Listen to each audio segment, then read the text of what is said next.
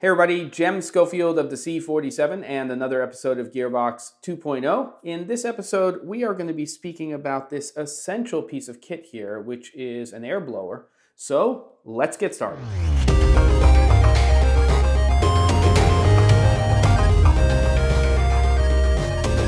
Okay kids, I think it is episode 20 of Gearbox 2.0. Uh, the weather's changing outside, the wind is blowing, Wind chimes are going crazy.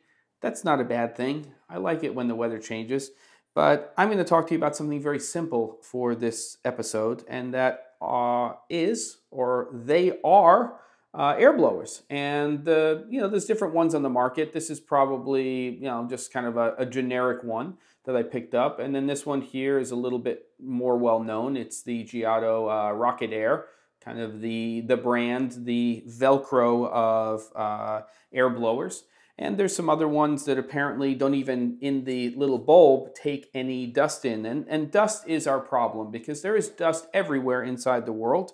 And when you're shooting um, with a camera system, if you don't have one of these in your kit, then you're in big trouble because, well, there's dust all of the time. So if you're just taking out a lens and you need to make sure that there's no dust on it, you use one of these. And then you go ahead and you take off the back cap and you check and you get that dust off. Now, if you happen to be putting um, a protective lens or an ND onto your uh, camera system, then these, of course, are hugely advantageous as well. They're not going to handle water, but they will handle dust.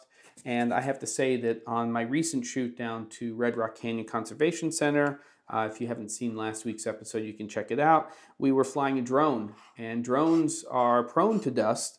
Uh, and so, if you're in a place like Red Rock Canyon, uh, are you and all of your equipment. So, every single time we swapped out a lens, on that shoot and if we were using an ND especially we would clean the lens and then both sides of the ND filter and then put that onto the camera. Now that uh, does not negate the use of other things like this. AF come on there we go like these little lens cleaning wipes and lens pens and other things that you're going to use to take care of these uh, Pancro and, and a whole bunch of other products but in my opinion these little suckers right here are essential to everybody's kit.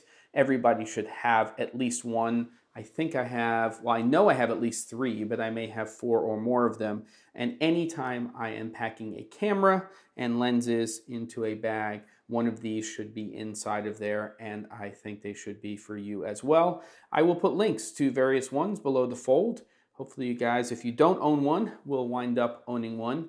Um, any links that you click on to any of those products and that you buy, uh, no matter how small, help in a small way to helping support the C47. It doesn't cost you any more money. Uh, you get the products you want, and I help continue, you help to continue making all of this content. Don't forget to subscribe, tap the bell for notifications, and I'll see you guys next time on Gearbox.